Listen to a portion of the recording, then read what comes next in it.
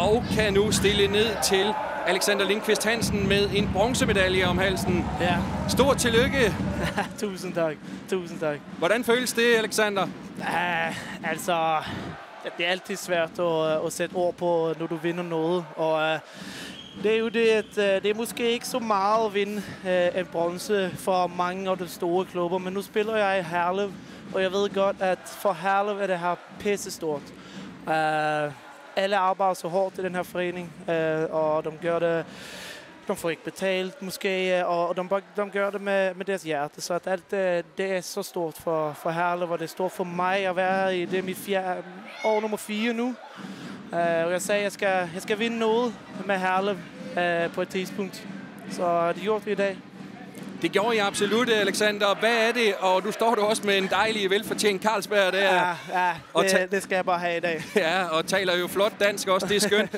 Alexander, hvad er det, I som hold har fået leveret i den her sæson, synes du? Uh, jamen, jeg synes, altså, vi har jo meget, det starter jo ikke så godt, der med Patrick, han var, han var syg. Uh, så, så blev vi nødt til at komme sammen som, uh, som, en, som et team, uh, og det gør vi. Uh, og så kommer Patrick tilbage, og uh, ja, så, så gør vi det for hinanden. Uh, vi gør det for Patrick, vi gør det for vores klub, vi gør det for, for vores, os selv. Uh, men men vi, vi, vi kører det spil og det system, som vi siger, vi skal gøre.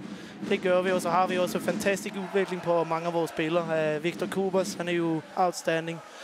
Øh, Mikkel Bertelsen er jo outstanding. Maxim Popovic er også outstanding. Øh, Asbo går jo ikke at sige noget om. Altså, han er jo sindssyg. Og Josef Jonsson, og så har du jo Lukas Horik. Altså, det er så mange spillere, som gør det så godt det her år, og det er noget, man, det skal man have, hvis man skal vinde noget. Så bliver man nødt til at have mange spillere, som, som er med, og, og hvad siger man? Øh, ja, de, de gør det, de skal, og lidt mere, og det gør de der.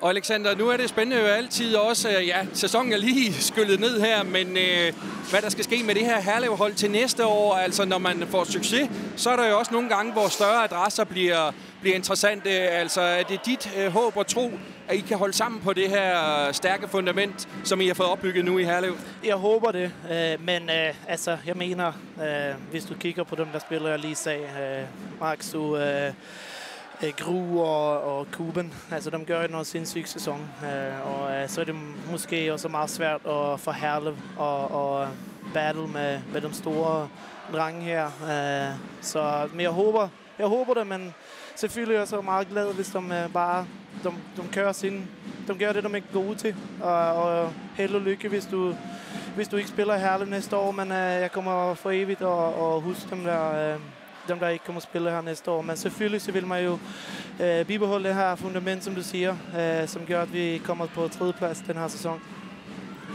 Og bare til sidst her, Alexander, øh, ja, det giver næsten sig selv. Hvad skal resten af den her lørdag bruges på? øh, ja, det er Carlsberg, det er Heineken, det er ja, alt, hvad du kan komme på. Uh, så det bliver en bustur hjem nu, som er meget sjov, og så, ja, vi er jo i København, så uh, det er jo åbent nu, det er lørdag, så vi kører bare.